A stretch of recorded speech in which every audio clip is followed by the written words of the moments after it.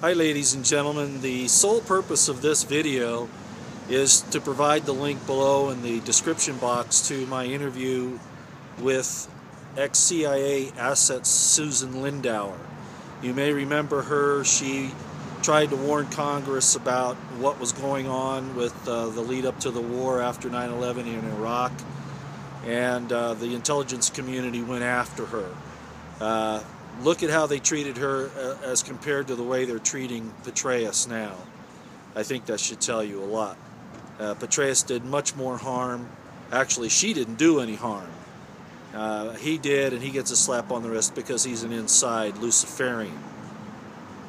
Anyway, go ahead, if you will, and listen to this program. It is kind of long, it's about two hours, but I, I wanted to take time to get it up. This is my interview with Susan Lindauer, who is an ex CIA asset.